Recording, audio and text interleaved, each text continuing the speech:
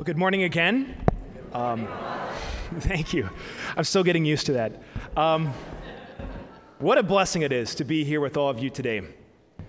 You know, it's, it's a blessing. Here we are, the 1030 Mass at Queen of All Saints, and here I am, Father Steven Carraher, celebrating probably my 16th Mass that I've ever celebrated in my life.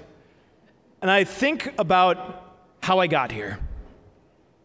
And I think about that day in the cathedral 15 days ago, June 1st, 2024, when I made those promises to the bishop, when I laid down on the floor, when hands were laid upon me, a prayer said over me, and I was changed into a priest. What a great grace and a great gift. Something that I have longed for for a long time, but something that maybe not many people would have recognized in me, even as few as 10 years ago. 10 years ago, I was walking into my freshman year over at Indiana University. And I was walking away for the first time from my family, my friends, my support group from Northwest Indiana.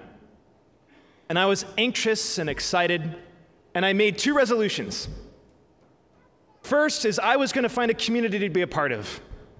I knew that I needed something to do to, or some family to find over at Indiana University to make the campus of 40,000 students seem like a smaller family. People who I knew, people who knew me.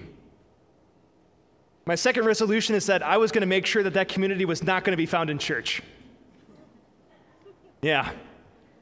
Um, so I was a Catholic through and through. Uh, I went to St. Thomas More Catholic grade school and middle school. And it was there that I learned about Jesus, learned about the sacraments, and I was going to Mass. And I was going to Mass even throughout high school. I went to public high school. But my faith back then was very simple and very young. See, I was going to church, going to Mass faithfully on Sunday because I didn't want God to be mad at me. I knew that it was one of the commandments to honor the Lord's Day, and you fulfill that by going to church every Sunday. So I made sure to do the bare minimum show up for Mass one hour a week every Sunday. And my thought is, I gave, my, I gave God my one hour, and I could do whatever I want with the rest of the week. And that was my thought going into my freshman year of college. And I knew what I wanted to do. I knew I wanted to find a community, and I knew that I wanted to find a community doing what I loved to do in high school, and I loved to do theater in high school.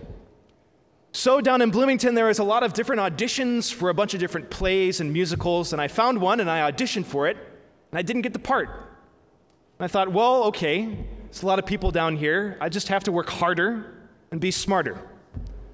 So I worked harder and harder, and I found another audition, and then I auditioned, and I didn't get that part. I said, okay, well, I just got to work even harder. I worked hard, and I found another audition, and I auditioned, and auditioned and auditioned, and I kept on getting rejected and rejected and rejected. And very soon, the hard work that I was putting in, the drive to do this hard work, was vanishing. And in my mind, I wasn't thinking, I got to try harder to get better. I was thinking, I'm not good enough. I'm not good enough for people to accept me, good enough for people to love me. I'm not good enough to be the person who people want to be with. And so I fell into myself. I spent so many hours instead of practicing for auditions just wasting time watching Netflix and YouTube in my college dorm room. Hours and hours, just not relating to anybody. And to tell you the truth, I was just miserable. Just absolutely miserable. Just look in the mirror and just see in the mirror just, uh, just a loser, someone who I didn't like. But I was still going to Mass during all of this. In the beginning of my sophomore year, I walk into the church, the Newman Center at Indiana University, because they had a 9 p.m. Sunday Mass. And when you're a college student, a 9 p.m. Sunday Mass sounds like a great idea. So I went to that 9 p.m. Sunday Mass, once again, just going there to give God my one hour so I could do whatever I wanted the rest of the week. And as I sat in that dark corner pew, at the very end of Mass, a student got up to the pulpit and made an announcement. He announced that there was going to be small group Bible studies happening throughout campus. And then he gave a little testimony about what small groups meant to him. He was a sophomore as well. In his freshman year, he joined a Bible study. And he found it to be a very beautiful experience of community and a beautiful experience of prayer. Now, if I heard that about a year ago, I would have said, absolutely not. I don't want to go to a small group Bible study. That's just a bunch of weird kids singing kumbaya in a dirty church basement. I don't want to do that. I want to be far away from that. But I was so hungry for community. And I was just so miserable that I saw that invitation and I said, you know what? What can I lose? Let's try it out. And so I did. And I went to that Bible study every week. And at first, I was afraid to bring forward my faith, my own beliefs, my own relationship with Christ, or however non existent that was. But I found as I went week after week after week, I began growing closer to Jesus. And we were just reading scripture, reading the Sunday readings, and, and talking about them. And the people in this small group weren't those weird kids I thought, they were normal people with passions and talents and skills. People who were majoring in business and finance and music, people who loved fish and wildlife and camping and just about everything. And it was such a beautiful experience of entering into that community. And I loved it so much that my next year, my junior year, they asked me to lead a Bible study myself, and I led it, and I led it with a whole group of freshmen, and they went on this really awesome retreat. I didn't go on this retreat. But they all came back and they're like, Steven, you have to go on this retreat. This totally changed my life. And I was looking at them, I was like, what the heck? No way. Like, how on earth could this like little weekend change your life? And I remember telling them, you know what? I'm going to just go just to see what's going on. But unless Jesus Christ himself doesn't, unless Jesus Christ himself shows up, I'm going to be disappointed. And boy, was I not disappointed. Brothers and sisters, that weekend changed my life. It was at that retreat that the people running the retreat they, uh, they acted out the scene of the passion of Christ, all the way from the Last Supper up until when he died on the cross.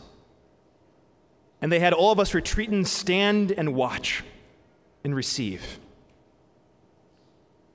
And watching that portrayed in real life struck me to the core.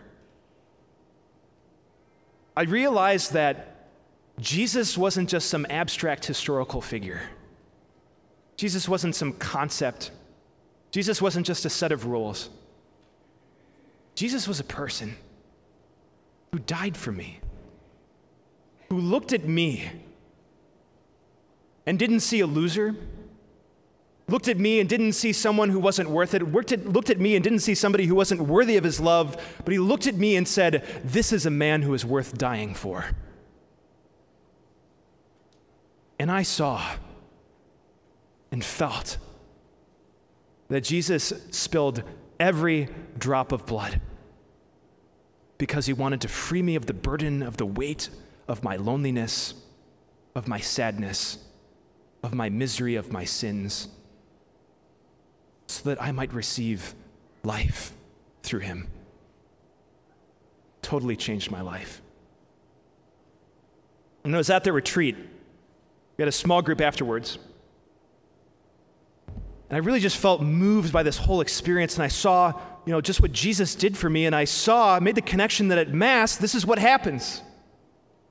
At Mass, we get to encounter Jesus on the cross. At Mass, we get to come to Him in our brokenness and our unworthiness. And we hear those words, I love you. We receive that mercy and that love every time we come to Mass. And there is a fire in my heart, brothers and sisters, unlike any other fire in my heart, to give my whole life to God. I was convicted of two things first, of God's love for me, and second, of how disrespectful I was to God that I was just willing to give him one hour of my week every Sunday at nine o'clock. And here is a man who spilled every single drop of blood for me. You can't repay that with just one hour on Sunday. You have to repay that with your whole life. What great love I experienced. And it was in that moment that I felt called and I shared with a small group that I was thinking about becoming a priest. Thinking about becoming somebody to perpetuate the sacrifice of Jesus Christ so that not only me, but everyone else experiences this love, this mercy, this forgiveness. And that small group led me to discern the priesthood externally. I went to a small group of young men and women who were thinking about religious life and the priesthood. And I was thinking about it and I, I began praying. I prayed every single day. And I was asking Jesus, What do you want from me? And eventually it became very clear in my heart that Jesus wanted me to enter seminary, and I said, let's do it. And I got that application, I filled it out, and I went to seminary. And in those six years of seminary, the Lord had transformed me, purified my heart, my mind, my soul, so that I could get ready to receive the grace of ordination. All the way up to June 1st, 2024, when I laid on the floor of that cathedral when I knelt before the bishop and he laid hands on me and he prayed that prayer and I became a priest up until this very, moment, Queen of all saints, 1030 Mass, Father Steven. What great grace.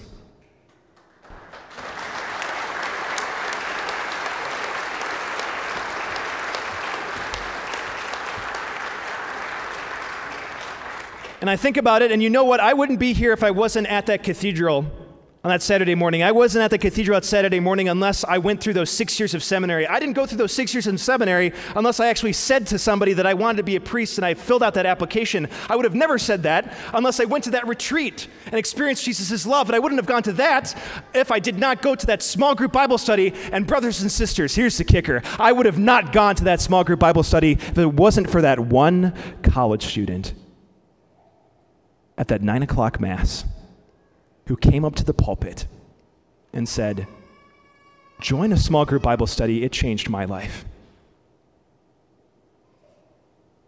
Brothers and sisters, that was a seed. Without that seed, we wouldn't be here. One college sophomore at Indiana University who experienced the love of God at a Bible study invited me to go, and eventually that led me on a path where we are right now. I wonder if he knew. Did he know when he walked up to that pulpit that his words were going to make a priest? Did he know when he walked up in that pulpit that his words would lead to those words I'm about to say on that altar, the words of consecration where Jesus Christ is going to be made present to us. Did he know? Brothers and sisters, do we know when we plant those little seeds? Do we know when we love our family and our friends enough to share with them what Jesus has done in our life and invite them to deeper discipleship? Do we know the power of our words? Brothers and sisters, we have such a good God. Amen. Amen. And He loves us so much that He saved us from our sins. But He's not satisfied with just saving us from our sins. He wants us to work with Him to build His kingdom. And it's no coincidence, it's no accident that Jesus uses the image of a seed for us building His kingdom. It's our job to plant the seed. It's his job to grow it. Brothers and sisters, be courageous. Plant that seed because you have no idea what the Lord is going to grow from it. Your little words can make a priest. I know that. Who knows what your words will do?